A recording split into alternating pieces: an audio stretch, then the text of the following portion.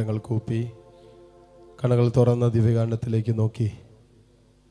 നമുക്ക് വേണ്ടി തുടിക്കുന്ന ജ്വലിക്കുന്ന ഹൃദയമാണ് ഇയാൾ താരയിൽ എന്നോട് നിങ്ങളോടുള്ള സ്നേഹത്തെ പ്രതി ജ്വലിക്കുന്ന ഹൃദയം ഇതാ ഇയാൾ താരയിൽ എഴുന്നള്ളിയിരിക്കുന്നു. ഐശോയെ നമുക്ക് ആരാധിക്കാം. ഐശോയ്ക്ക് നന്ദി പറയാം. ഐശോയുടെ സ്നേഹത്തിൽ നമ്മൾ വിശുദ്ധീകരിക്കണമേ നമുക്ക് പ്രാർത്ഥിച്ച് ഒരുമിച്ച് ഈശോയെ ആരാധിച്ച് പ്രാർത്ഥിക്കാം. പരിശുദ്ധ പരമ ദിവ്യകാരുണ്യ നാഥനായ ഈശോയ്ക്ക് എന്നേരവും ആരാധനയും സ്തുതിയും പുകഴ്ചയും ഉണ്ടായിരിക്കട്ടെ.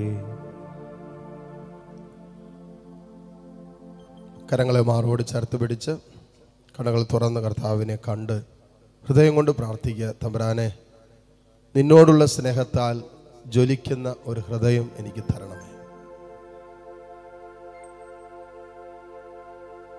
ഇങ്ങനെ പ്രാർത്ഥിക്കേ. കർത്താവേ നിന്നോടുള്ള സ്നേഹത്താൽ ജ്വലിക്കുന്ന ഒരു ഹൃദയം എനിക്ക് തരണമേ. നമ്മുടെയൊക്കെ ഹൃദയങ്ങൾ പലതിനും വേണ്ടി ജ്വലിക്കുന്നുണ്ട് തുടിക്കുന്നുണ്ട് നമുക്കറിയാം. പലതും ഈ ലോകവുമായി ബന്ധപ്പെട്ടതാണ്. പലതും ഈ ലോകത്തിൽ നഷ്ടപ്പെട്ടു പോകേണ്ടതാണ്. പലതും ഈ ലോകത്തിന്റെ സ്വന്തമാണ്. അല്ലെങ്കിൽ ലോകത്തിന്റെ അംഗീകാരത്തിന് വേണ്ടിയാണ്. അല്ലെങ്കിൽ ലോകം തരുന്ന സ്നേഹത്തിനും ലോകം തരുന്ന സന്തോഷത്തിനൊക്കെ വേണ്ടിയായിരിക്കാം നമ്മുടെ ഹൃദയം തുടിക്കുന്നത് ജ്വലിക്കുന്നത്. കർത്താവിനോടുള്ള സ്നേഹത്തിൽ നമ്മുടെ ഹൃദയങ്ങൾ ജ്വലിക്കണ്ടേ? കാരണം അവന്റെ ഹൃദയം ജ്വലിച്ചത് നമ്മോടുള്ള സ്നേഹത്തെ പ്രതിയല്ലേ? തമ്പുരാനെ നിന്നോടുള്ള സ്നേഹത്താൽ ഞങ്ങളുടെ ഹൃദയങ്ങളെ ഞങ്ങളുടെ കുടുംബാംഗങ്ങളെയൊക്കെ ജ്വലിപ്പിക്കണമേ എന്ന് പ്രാർത്ഥിക്കുന്നു.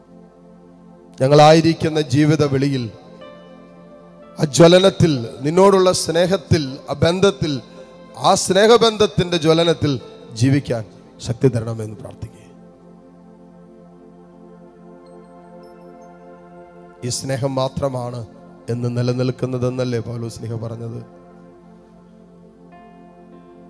ഈ സ്നേഹത്തെ പ്രതി ബാക്കിയെല്ലാം ഉച്ചിഷ്ടം പോലെ കരുതുന്നു എന്നല്ലേ പൗലോസ് സ്നേഹ പറഞ്ഞത്?